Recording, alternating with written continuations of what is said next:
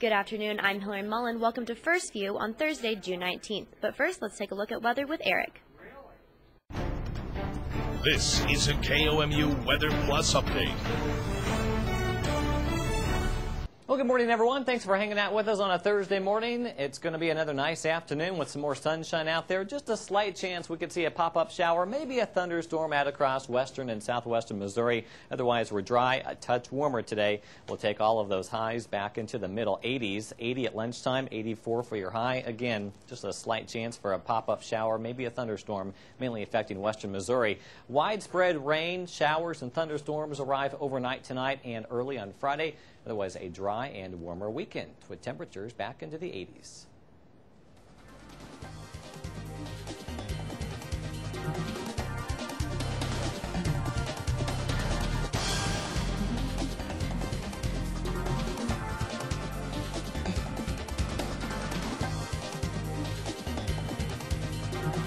The rising water level in Hannibal takes a toll on local businesses.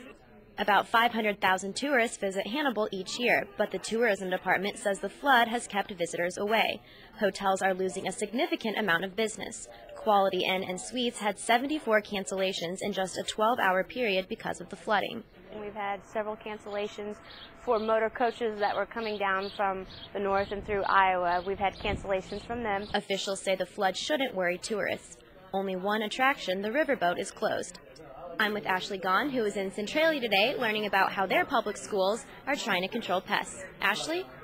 Yeah, I went to uh, Centralia Public School today, and they're implementing this new program, IMP, and it's a program to help schools eliminate pests in their in the public school system.